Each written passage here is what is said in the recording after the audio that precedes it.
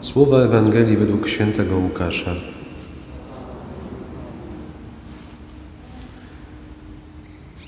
Jan przywołał do siebie dwóch spośród swoich uczniów i posłał ich do Jezusa z zapytaniem: Czy ty jesteś tym, który ma, ma przyjść, czy też innego mamy oczekiwać? Gdy ludzie ci zjawili się u Jezusa, rzekli: Jan Chrzciciel przysyła nas do ciebie z zapytaniem: Czy ty jesteś tym, który ma przyjść, czy też innego mamy oczekiwać?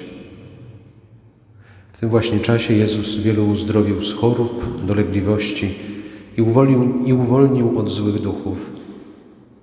Także wielu niewidomych obdarzył wzrokiem. Odpowiedział im więc: Idźcie i donieście Janowi to, co widzieliście i słyszeliście. Niewidomi wzrok odzyskują, chromi chodzą, trędowaci zostają oczyszczeni i głusi słyszą. Umarli z martwych wstają, ubogim głosi się Ewangelię. A błogosławiony, kto we mnie nie zwątpi. Oto słowo Pańskie.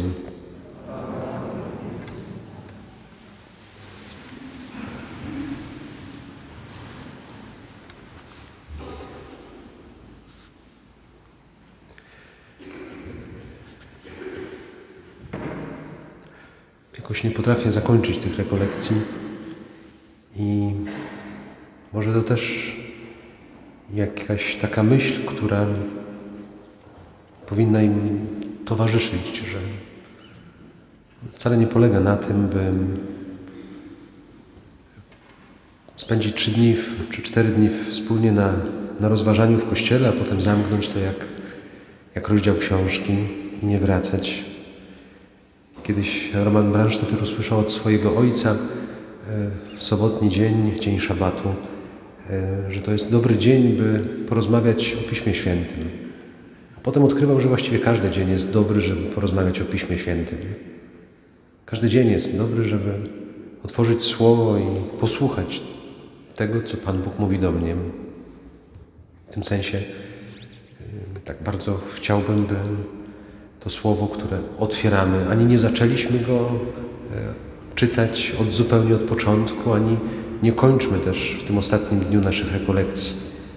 Niech e, to się stanie taki, e, takie miejsce wiecznego czytania, nieustannego czytania. Zacznijmy od, od słowa. Dzisiejsza Ewangelia opowiada nam o wysłannikach Jana Chrzciciela, którzy przyszli do, do Jezusa z pytaniem, czy jesteś tym, który miał przyjść, czy też innego mamy oczekiwać. To pierwsze, co uderza w tej Ewangelii, to, fakt, że Jan Chrzciciel jest w więzieniu.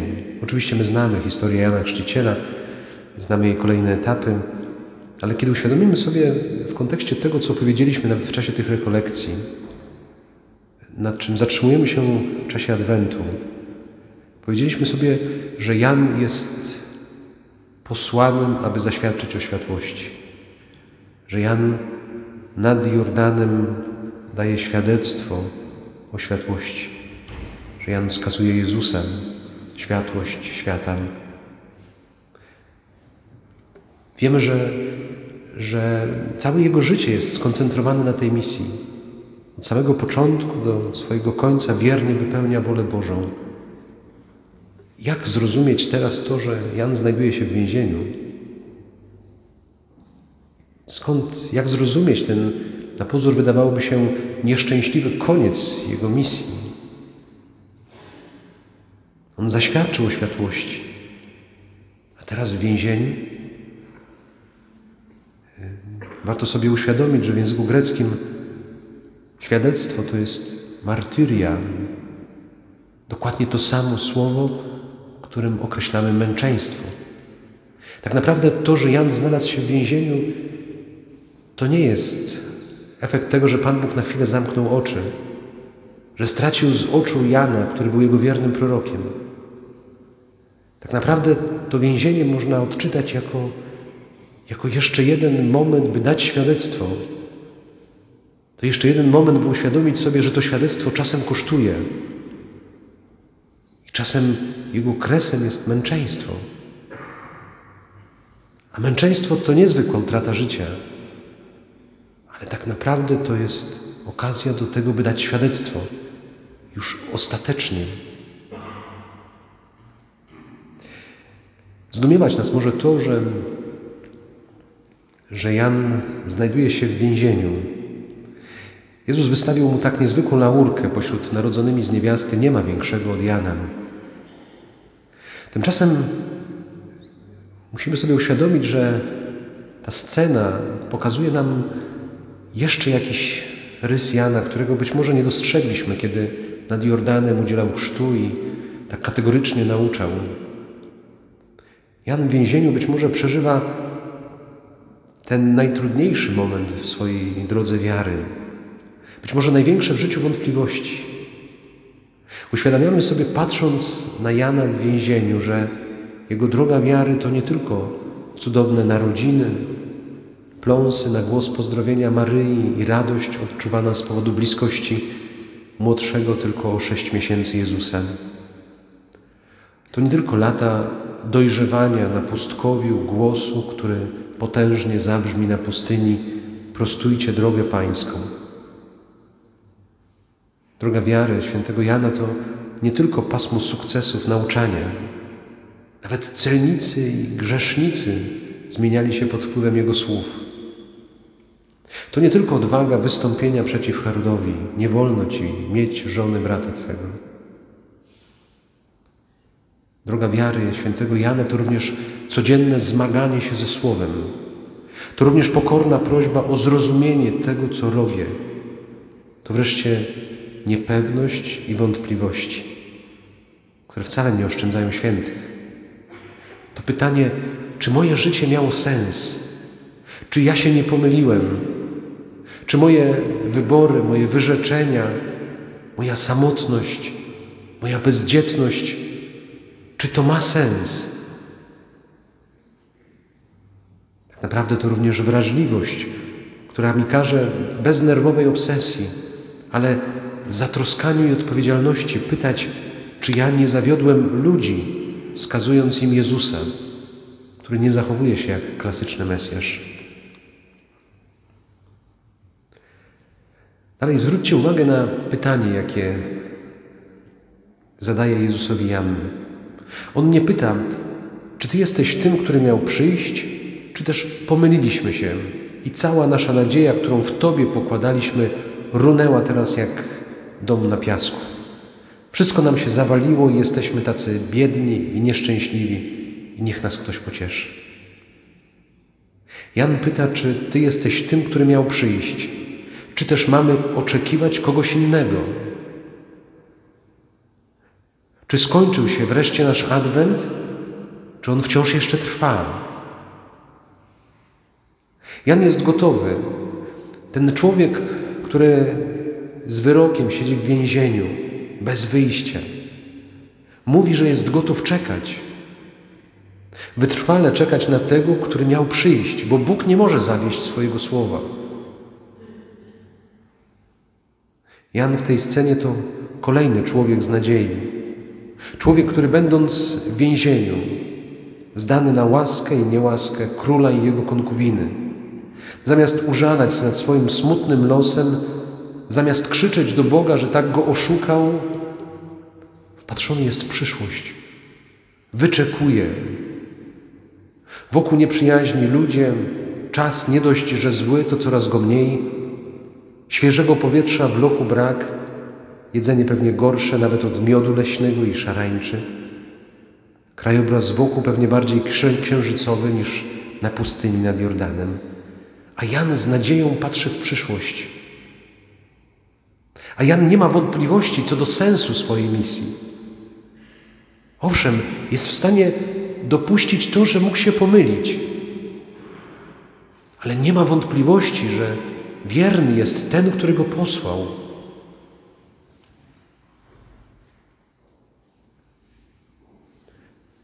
Zobaczcie, że dokładnie takie samo pytanie powtarzają jego uczniowie. Czy Ty jesteś tym, który miał przyjść? Czy też mamy cierpliwie, czy też niecierpliwie czekać na kogoś innego? Czy mamy czekać dalej? Dobry nauczyciel i dobrzy uczniowie. Intrygujące jest również to, że odpowiadając na pytanie Jana, Jezus wydaje się unikać jasnej odpowiedzi. Tak, nie. Myślę, że to ogromnie dla nas ważne. Jezus mógłby powiedzieć uczniom Jana: Powiedzcie swojemu nauczycielowi, niech się nie martwi. To ja jestem tym, który miał przyjść, to ja jestem tym, którego on słusznie wskazał. Nie pomylił się. Mógłby zwrócić się bezpośrednio do Jana, przecież byli krewnymi. Janie, nie pomyliłeś się. Janie, Twoje życie, Twój trud nie poszły na marne. Twoje życie, Twój trud, Twoje wyrzeczenia miały sens, mają sens. Nie zmarnowałeś życia. Tymczasem Jezus mówi: Idź, idźcie, powiedzcie Janowi to, co widzieliście i słyszeliście. Niewidomi wzrok odzyskują, chromi chodzą, trędowaci zostają oczyszczeni i głusi słyszą. Umarli z martwych wstają, ubogim głosi się Ewangelię. I błogosławiony jest ten, kto nie zwątpi we mnie. Zamiast bezzwłocznie pocieszyć Jana, który przeżywa w więzieniu być może jakąś próbę wiary, Jezus zdaje się zadawać zagadki i podsuwać łamigłówki. Najpierw skierowane do uczniów Jana. Idźcie i powiedzcie mu to, co słyszeliście, co widzieliście. To znaczy, najpierw patrzcie i słuchajcie, i rozumiejcie, co się dzieje. Umiejcie patrzeć i słuchać. Wskazując na niezwykłe znaki, które dokonują się w kontekście Jego nauczania, Jezus zaprasza Jana, aby ten zrobił krok w głąb słowa.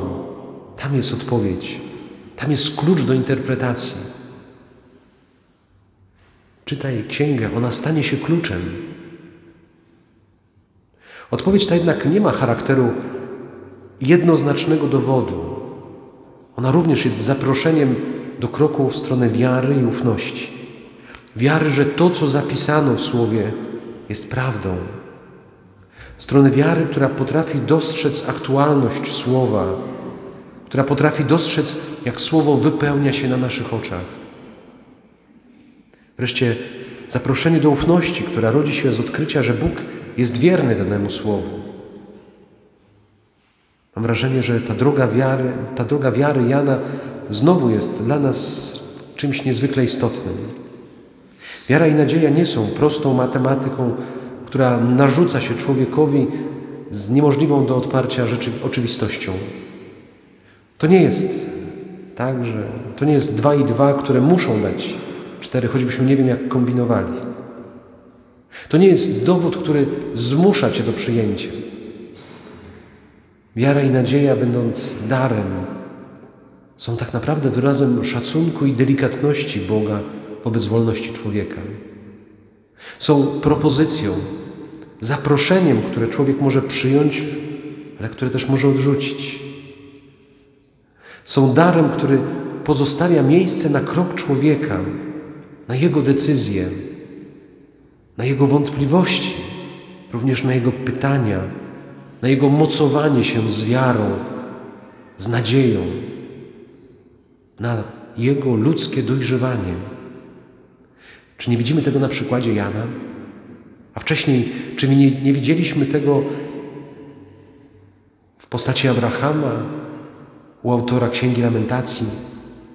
Czy nie widzimy tego w postawie Maryi w momencie zwiastowania, kiedy pytała, aby zrozumieć, nawet jeśli e, swoim tak zgadzała się na szaleństwo, jest miejsce na decyzję. Ja chcę je podjąć. Jest to zawsze zaproszenie do patrzenia i słuchania, do odkrywania znaków, ich mozolnego odczytywania. Jest to wreszcie zaproszenie w głąb słowa, które rozjaśnia drogę. Słowo Twoje lampą dla mych stóp, światłem na mojej ścieżce. I błogosławiony, kto we mnie nie zwątpi. Zaproszenie w głąb słowa, które otrzymuje Jan, wskazuje być może na tekst z Księgi Izajasza, na słowo, które Jezus odczytał w czasie wizyty w synagodze w Nazarecie. Duch Pański nade mną, ponieważ mnie namaścił. Posłał mnie, abym Bogiem niósł dobro, dobrą nowinę, abym opatrywał rany serc złamanych, żebym zapowiadał wyzwolenie jeńcom i więźniom swobodę, abym ogłaszał rok łaski od Pana. Naszym szukaniu źródeł nadziei, w tym ostatnim dniu rekolekcji, Bóg nas również odsyła w głąb słowa wypowiedzianego przez Izajasza. Kiedy zobaczyłem to czytanie, pomyślałem sobie, że to jest znowu niezwykłe. Ja naprawdę nie dobierałem tych czytań. One są z lekcjonarza według porządku adwentowego czytań. Naprawdę nie, nie ustawiałem ich pod kątem naszych rekolekcji, tak by pasowały jako ilustracja do tego, o czym będę mówić. W pierwszym dzisiejszym czytaniu usłyszeliśmy fragment, w którym jak refren pięć, sześć, może siedem razy powraca myśl Ja jestem Pan. Czyż nie ja jestem Pan? Nie ma innego. Ja Pan czynię to wszystko. Ja Pan stwarzam światło i ciemność, pomyślność niedolę. To tak jakby Bóg z odległości 25 wieków wołał ustami Izajasza, a jednocześnie z tak bliska gdzieś szeptał w głębi mojego serca, serca, które On ukształtował. Ja jestem Pan i nie ma innego. Ja jestem Bogiem, Stwórcą tego, co widzisz, Stwórcą tego wszystkiego, co, co przeżywasz, co Cię spotyka, przez co przechodzisz. To nie jest zbieg okoliczności, okrutne fatum, które ciąży nad Tobą i czyha na Ciebie, albo przypadkowy układ atomów, przypadkowy zbieg pierwiastków, walka żywiołów rozgrywająca się w Twoim życiu, albo rozgrywka polityków, czy też wymysł hierarchów. Oni też wszyscy są ostatecznie w ręku Boga. I właśnie wtedy, kiedy wydaje się, że kruszą się fundamenty, padają autorytety, zawodzą ludzie, na których, jak się wydawało, mogliśmy się oprzeć. Kiedy bezpieczny i ułożony dotąd świat, jakoś opanowany i poskromiony, ukazuje swoje groźne rysy. Właśnie wtedy, kiedy przychodzi choroba, zwątpienie, niepewność, słowa Izajasza wskazują na fundament, który nie zawiedzie. Nie musisz się bać. Nie musisz się lękać. Nie musisz, tego, nie musisz się bać tego świata. Nie musisz go odrzucać jako przeżartego złem, zepsuciem. Nie musisz dostrzegać w nim wroga. To jest niezwykłe w słowach Izajasza. Ten świat, w którym tak wielu widzi nieustanną, bezlitosną konfrontację sił światłości i ciemności, dramatyczną walkę dobra i złem, dobra, dobra ze złem, w którym zło czasami wydaje się triumfować. Ten świat w słowach Izajasza, cały świat jest w rękach Pana. Ten świat jest nie tylko stworzony przez Boga, ale również zbawiony przez Boga. To do Niego należy ostatnie słowo. Nie odrzucam tutaj ani realności zła, nie neguję istnienia złego ducha, nie odmawiam mu inteligencji ani sprytu, ale on już jest pokonany. On już nie ma realnej władzy. Ja jestem Pan i w moim ręku jest to wszystko. To jest fundament. To jest Ewangelia. To jest nasza nadzieja. To miało być rekolekcją nadziei. Świadomiłem sobie, że właściwie nie jest trudno mówić o nadziei w Piśmie Świętym. Słowo nadzieja w polskim przekładzie występuje ponad 100 razy. Blisko 100 razy można znaleźć na kartach biblijnych czasownik ufać. Mowa jest w Biblii o tak różnej nadziei, o tak różnych odcieniach nadziei. Jest mowa o nadziei Izraela i nadziei ludzi nieprawych, o nadziejach spełnionych i zawiedzionych nadziejach. Mowa jest o nadziei pokładanej w człowieku i tej złożonej w Bogu, o nadziei bezbożnego i grzesznika, o tej, która pewna jest ufności, pełna jest ufności Panu i tej, która nigdy Cię nie zawiedzie. O nadziei pełnej nieśmiertelności, ale i tej, która jest jak plewa wiatrem miotana i jak lekka piana rozbita przez burzę. Jak dym się rozwiała od wiatru, zatarła się jak pamięć chwilowego gościa.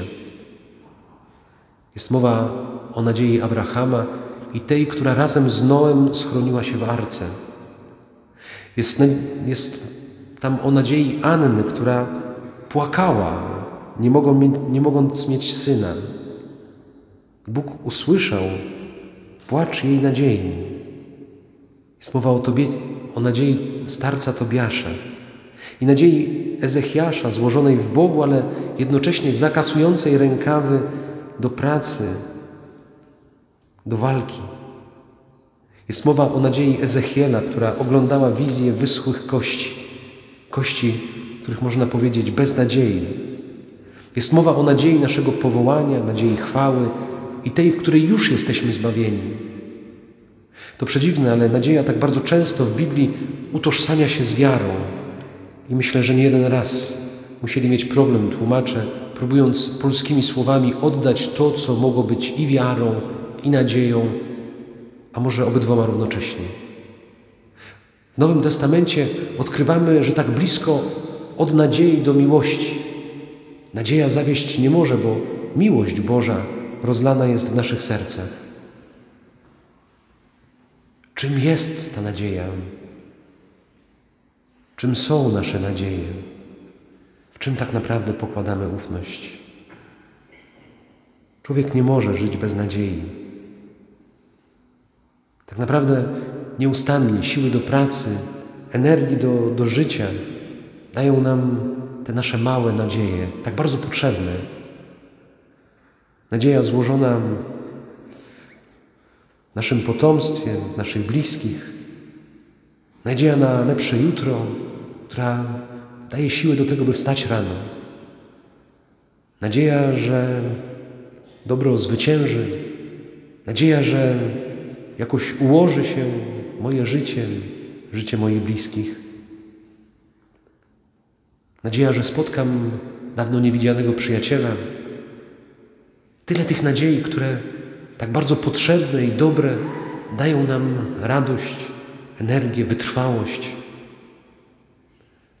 Ale kiedy zdarza się, że one zawodzą, odkrywamy, że tak bardzo potrzeba nam nadziei, która nie mija wraz z mijającym dniem, która nie kończy się wraz z ubywającymi siłami, która nie gaśnie wraz z gasnącym zdrowiem albo z latami, których przybywa, z życiem, które przemija. I tutaj docieramy do tego, co jest sednem, co jest istotą naszej nadziei, co sprawia, że nie jesteśmy jak ludzie, którzy nie mają nadziei.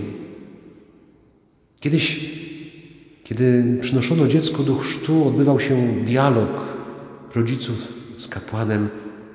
O co prosicie Kościół? Czegoż chcecie w tym chrzcie? A oni odpowiadali: Chcemy życia wiecznego. To prawda, że czasem nasz horyzont zacieśnił się dzisiaj do tylko tego, co trwa przez chwilę naszego życia tutaj. Ale tak naprawdę nasza nadzieja polega na tym, nasza nadzieja złożona jest w tym, że my będziemy żyć z Bogiem wiecznie, że tęsknimy za życiem, które się nie skończy i nie będzie przeraźliwie nudną monotonią, ale tym poczuciem spełnienia, poczuciem sensu, które trwa, dając człowiekowi radość.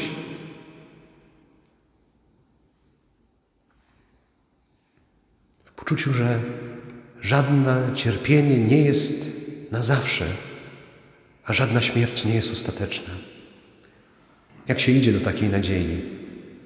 To już naprawdę ostatnie myśli w czasie tych rekolekcji. Próbowałem wskazywać czasem takie właśnie drogi do nadziei. Myślę, że pierwszą, na którą zresztą wskazuje papież Benedykt XVI w swojej encyklice o nadziei, pierwszą jest modlitwa. Modlitwa tak bardzo różna. Tak bardzo różne formy przybierające, ale wydaje mi się niezwykłą szkołą nadziei. Nie potrzeba wcale wielu słów. Ci, którzy nauczyli się trwać w ciszy przed Bogiem, wiedzą, że ta cisza jest pełna Jego obecności. On zawsze przychodzi niosąc w sobie nadzieję. Ile razy się zdarzało, że w beznadziejnych sytuacjach ktoś wkładał nam do ręki różaniec. Ktoś mówi, będę pamiętał o Tobie w modlitwie. I być może nie zmieniło to trudnej sytuacji, ale coś zmieniało w sercu, które zaczynało bić rytmem nadziei. Myślę sobie, że jakimś ideałem, jakimś wzorem tej szkoły nadziei, którą mamy w modlitwie, jest Abraham, o którym wspomniałem w drugim dniu naszych rekolekcji. Ten człowiek, który wie, że nadzieja dla miasta, które przepełnił grzech, które zniszczył grzech człowieka, nie jest jego ludzki, abrahamowy wysiłek, jego bieg, jego próby ratowania, wskrzeszania jakiegoś miasta, które umarło, ale jego trwanie przed Bogiem w nadziei, że ten, który jest sprawiedliwy, nie pozwoli, by zginął sprawiedliwy z niesprawiedliwym że ten, który jest sprawiedliwy, może ocalić miasto ze względu na jednego sprawiedliwego. Tego trwania przed Bogiem w ciszy to właśnie zależy.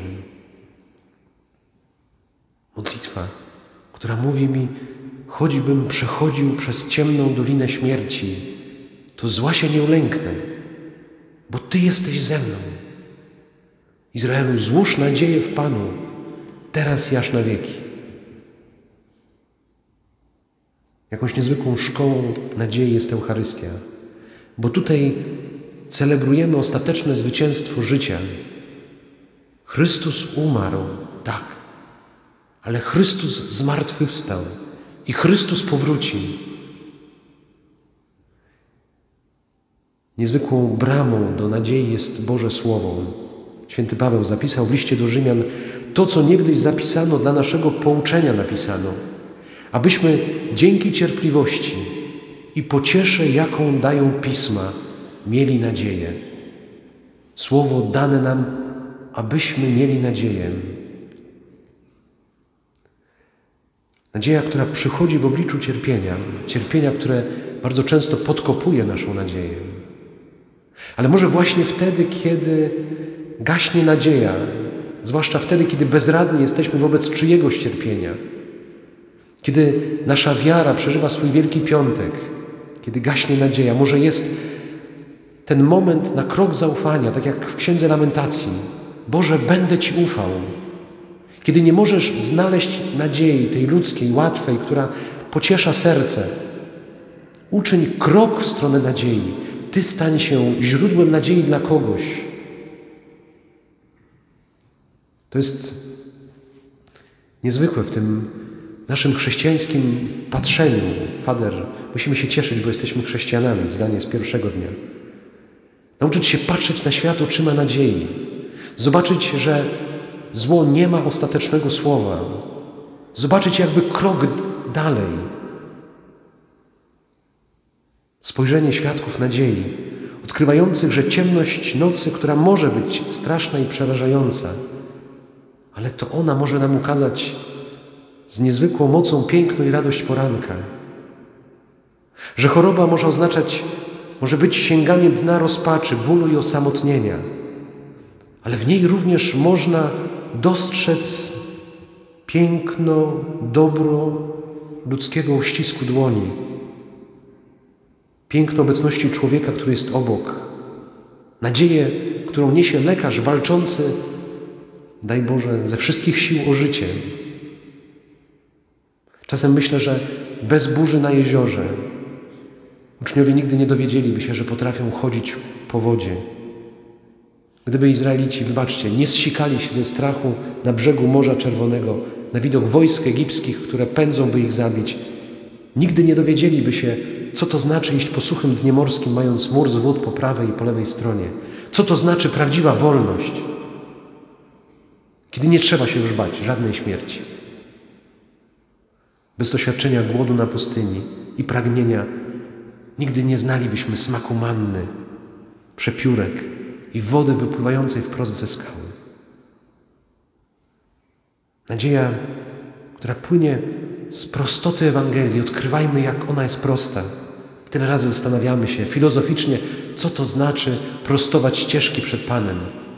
A może trzeba czasem prostoty francuskiej zakonnicy, która w XIX wieku powiedziała: Wyprostowanie ścieżek to jest zerwanie tysiąca pretekstów, które, zawiera, które sprawiają, że uchylam się od miłości. Wyprostowanie ścieżek to zerwanie z tysiącem pretekstów, które sprawiają, że uchylam się od miłości. Tyle w nas czasem spojrzenia bez nadziei. Pytamy, czy kościoły znów napełnią się ludźmi, czy wrócą młodzi. Tyle wokół znaków, które mówiących nam o beznadziei. Kapłanów, którzy się gdzieś w tym wszystkim pogubili, poszli w jedno, drugie, trzecie ekstremum. Patrzeć trochę dalej, widzieć tak naprawdę czasem na gruzach Boga, który czyni wszystko nowe. Nie dokładnie takie samo, ale ciągle nowe. Ja jestem Pan i nie ma innego. Nie umiem skończyć tych rekolekcji. Sami je sobie dokończcie. Amen.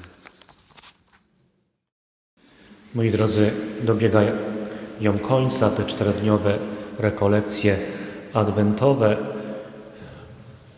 w adwencie liturgicznym, ale i też cztery dni naszego życiowego adwentu. Dziękujemy Bogu za te dobro, które stało się naszym udziałem za pośrednictwem naszego rekolekcjonisty, księdza Krzysztofa. Moi drodzy, nie użyję słowa specjalista, bo tego nie lubi ksiądz Krzysztof.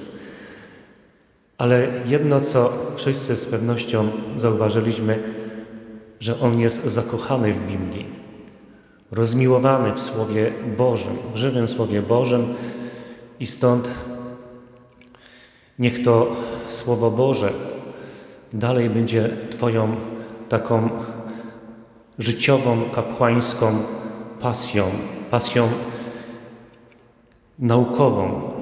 Wszak ksiądz Krzysztof jest nau pracuje w Instytucie Nauk Biblijnych na Kulu. Też z pewnością studenci są zadowoleni z Twoich wykładów. Byłeś dla nas prorokiem. Byłeś takim współczesnym, skromnym w swoim zachowaniu Janem Chrzcicielem, ale i też coś miałeś w sobie z patriarchów, chociażby z Abrahama. Dziękujemy Ci za przybliżenie nam tej prawdy, że Bóg nas zbawia, że Bóg nas kocha i tej prawdy o nadziei, że nigdy nie jesteśmy sami, że Jezus jest z nami, że Bóg chce zawsze dla nas najlepiej. A jak będzie, to już też od naszej współpracy z tą łaską Bożą wiele zależy. Dziękuję za przesłanie nadziei w tym trudnym okresie, w tym dziwnym czasie, kiedy wydaje się, że nie ma nadziei, jednak nadzieja jest. Ona jest pokładana w Bogu, ale i ten Bóg w nas pokłada nadzieję, że będziemy ludźmi nadziei. Dziękuję księże Krzysztofie za dar Twojego słowa. Tak w sposób poetycki przybliżyłeś nam tamte tereny starotestamentalne, można powiedzieć, i nowotestamentalne. Życzymy Ci, aby wszyscy święci, biblijni, Starego i Nowego Przymierza nieustannie Tobie towarzyszyli i wspierali Cię, wypraszali u dobrego Boga wiele łask, mądrości, światła, miłości i dobroci. Wiele życzliwości od wszystkich ludzi, do których Bóg Cię posyła. Niech Maryja również zawsze blisko jest Ciebie i prowadzi Cię najkrótszą drogą zawsze do swojego Syna, Jezusa Chrystusa. Niech takim naszym darem będzie też to Zdrowaś Maryjo w intencji księdza Krzysztofa. Zdrowaś Maryjo, łaski pełna Pan z Tobą, błogosławionaś Ty między niewiastami i błogosławiony owoc żywota Twojego Jezus. Święta Maryjo, Matko Boża, módl się za nami grzesznymi, teraz i w godzinę śmierci naszej. Amen. A teraz prosimy o Twoje błogosławieństwo, aby ono zakończyło tę rekolekcję i abyśmy mogli też zyskać odpust zupełny związanym z tymi dniami. Przy okazji dziękować księdzu proboszczowi za jego niepojęte dla mnie dobre zdanie na mój temat i, i za wdzięczność pomimo tego, że czasem nie, nie zasługuję w pełni. E, Chciałbym również Wam podziękować za to, że mogliśmy razem przejść te, ten czas, e, razem słuchać słowa. Myślę, że tak naprawdę jest tym dla mnie jakiś niezwykły obraz Kościoła, który zbiera się nie po to, żeby plotkować, nie po to, żeby e, tylko cieszyć się z obecności, chociaż to też jest ważne, ale żeby razem słuchać słowa, słowa, które rozbrzmiewa we wspólnocie, słowa, które powstawało we wspólnocie i które było dla wspólnoty. Bardzo dziękuję też za Wasz dar serca, za każdą życzliwość, której nieustannie doświadczam. Pan z Wami. Pochylcie głowy na błogosławieństwo. Niech Bóg Was błogosławi i strzeże. Amen. Niech Bóg rozpromieni swoje oblicze nad Wami i obdarzy Was swoją łaską. Niech Bóg zwróci ku Wam oblicze swoje i Was obdarzy pokojem. Niech Was błogosławi Bóg Wszechmogący, Ojciec i Syn i Duch Święty. Idźcie w pokoju Chrystusa.